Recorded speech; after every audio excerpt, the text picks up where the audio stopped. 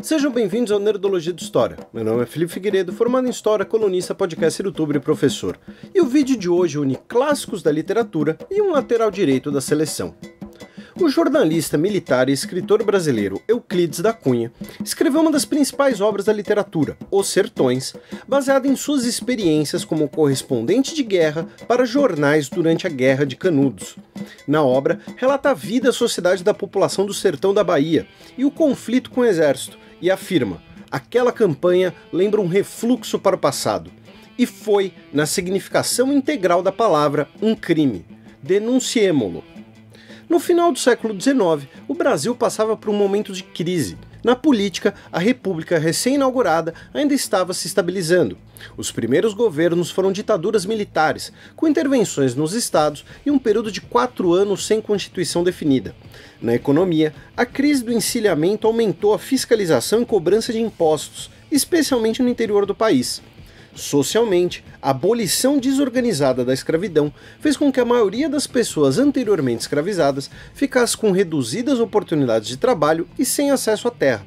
Essa crise social e econômica, agravada por fazendas improdutivas, secas, cíclicas e desemprego crônico, fez com que dezenas de milhares de sertanejos se agrupassem em torno da liderança de um peregrino chamado Antônio Conselheiro.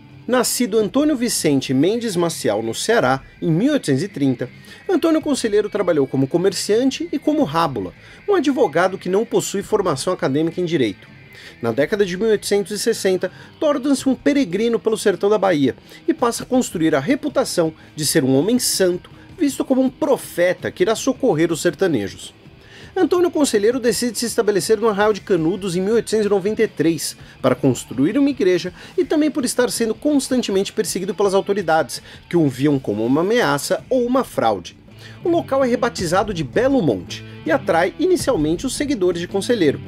A terra era de propriedade da comunidade, fundamentada por Conselheiro na ideia de solidariedade cristã. Posteriormente, com o sucesso da vila, chegam milhares de sertanejos, indígenas e pessoas escravizadas recém-libertas. Em seu auge, a população de Canudos foi de entre 25 a 30 mil pessoas. Uma dessas pessoas foi retratada por um menino de Juazeiro, chamado Daniel Alves, no filme Canudos, de 1997. Futuramente, ele jogaria duas Copas do Mundo pelo Brasil.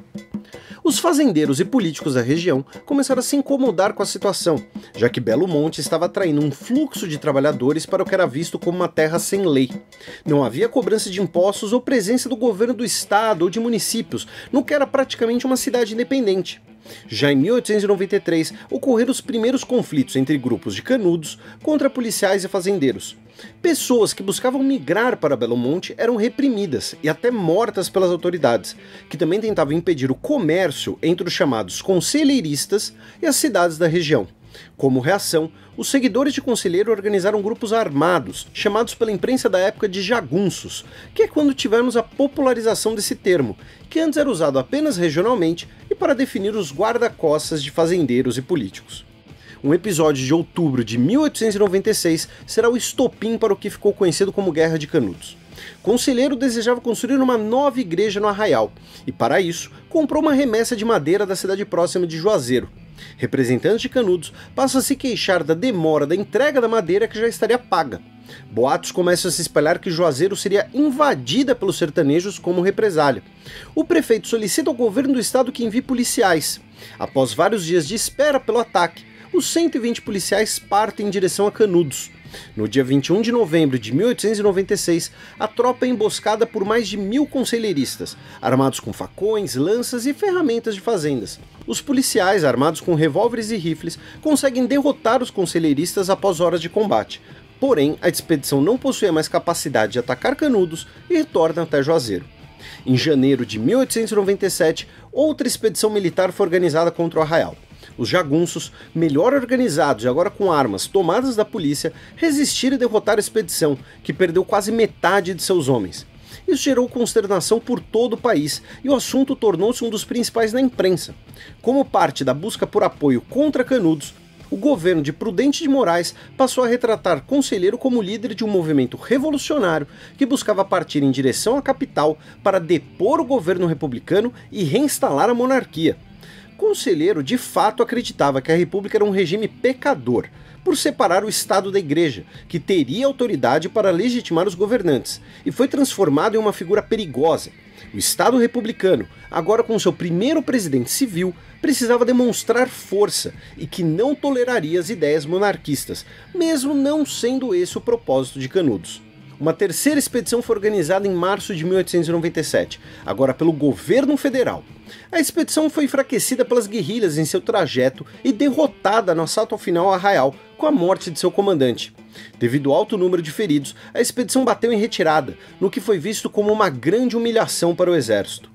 Em abril de 1897, o ministro da Guerra, nome da época para o comandante do exército, Marechal Carlos Machado de Bittencourt, em pessoa, preparou uma nova expedição formada por diversas colunas que somaram mais de 10 mil homens e com mais de 10 peças de artilharia, incluindo um canhão que pesava quase 2 toneladas e que foi apelidado de Matadeira pelos sertanejos.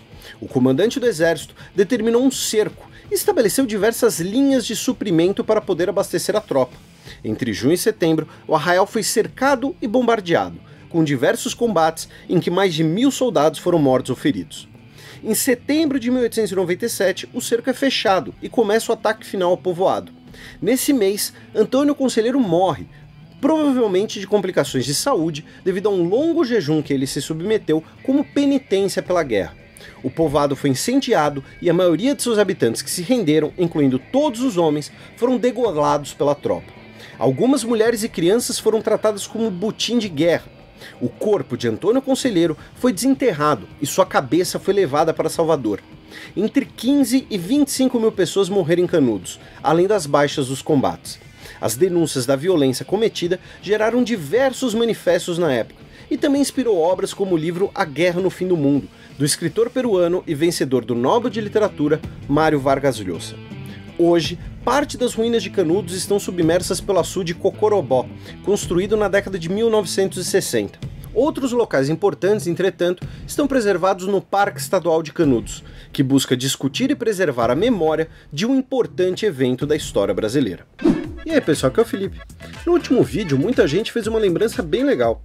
Aragorn, personagem de Senhor dos Anéis, é identificado como o verdadeiro rei em Minas Tirith, quando ele cura Merry, Faramir e Elwyn, uma curandeira de Gondor, inclusive, diz que as mãos de um verdadeiro rei têm o poder de curar. Perguntaram se o termo paladino é usado pelo Vaticano. Não, não é, mas a Colina Palatina, em Roma, é um importante sítio arqueológico e destino turístico. Finalmente perguntaram a origem do nome Capetinjo.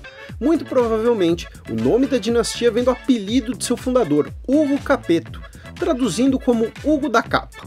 Antes de ser rei, Hugo era abade, e os abades medievais usavam uma espécie de capa. Algumas versões lendárias dizem até que ele possuía a capa usada pelo soldado romano que golpeou Jesus com uma lança.